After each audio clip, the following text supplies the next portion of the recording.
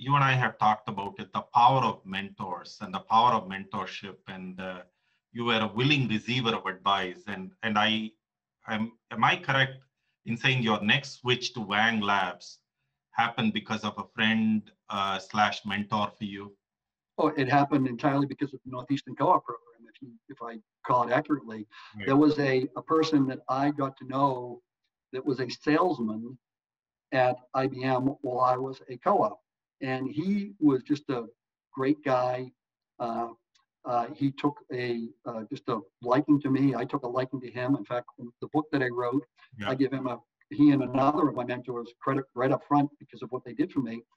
His career developed. He went off to become a manager at Wang Lab, which is most won't know that company today, but it was a high flying technology Correct. company in, in its day.